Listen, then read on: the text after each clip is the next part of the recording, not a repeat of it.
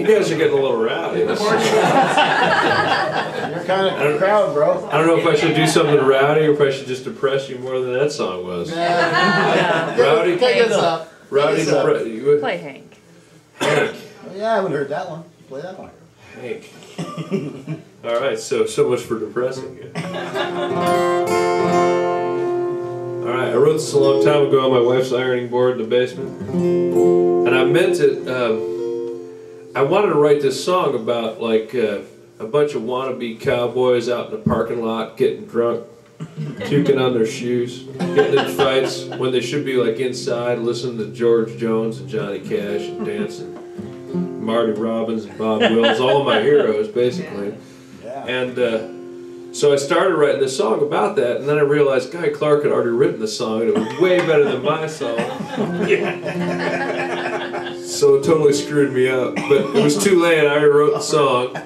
So then the song became sort of an indictment of modern day country music, and uh, it's sort of a positive affirmation of all of my heroes Marty and Bob and Hank and Buck and Merle. And the funniest part about the story is when I was at the state fair playing this summer.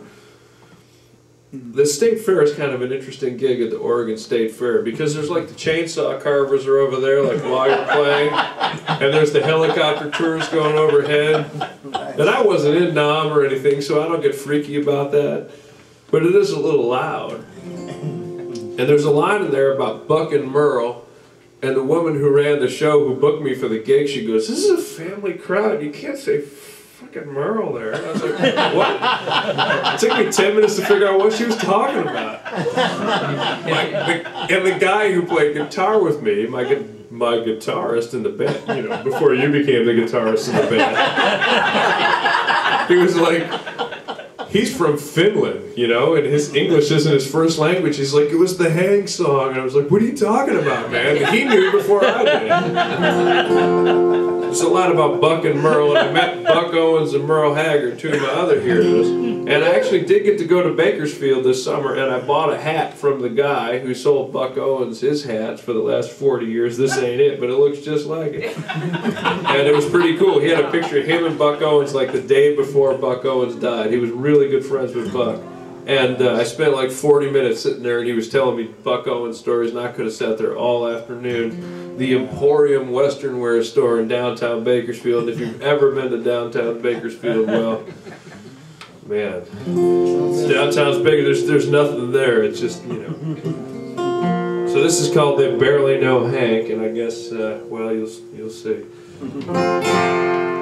Well, the wet streets explode with the Friday night crowd. They got places to go for crying out loud. And they got people to see and poison to drink. And their 10 gallon hats and their $6 drinks. Well, it's country dance night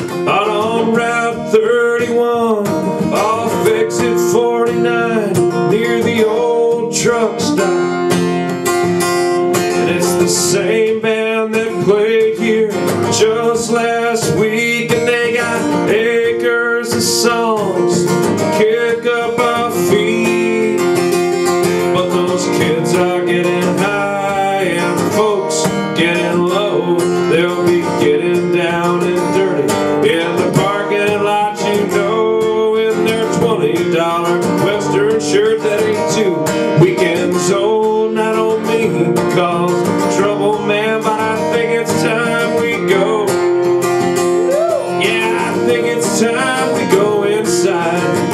real nice and slow to your cheating heart and faded love and my home in San Antonio.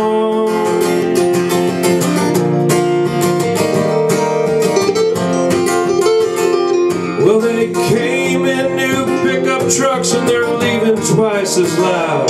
They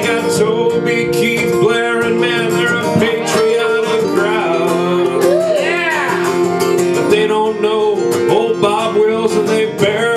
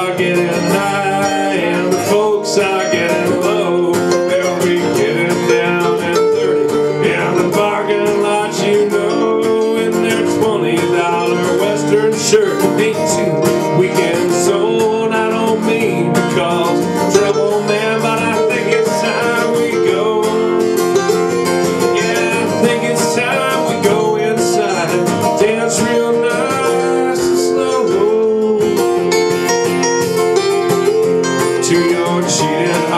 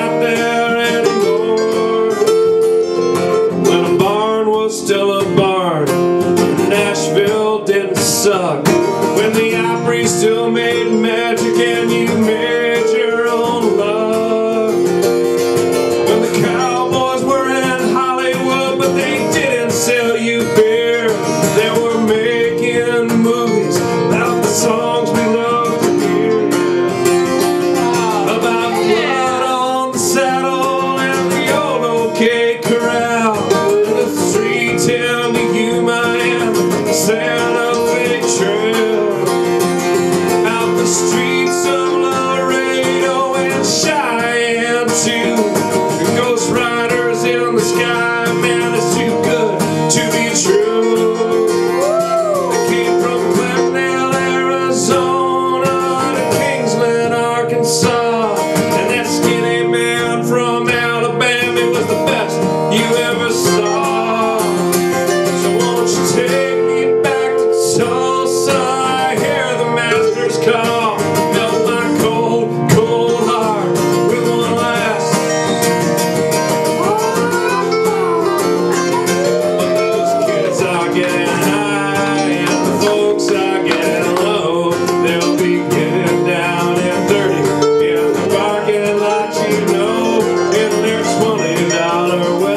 shirt and into weekends.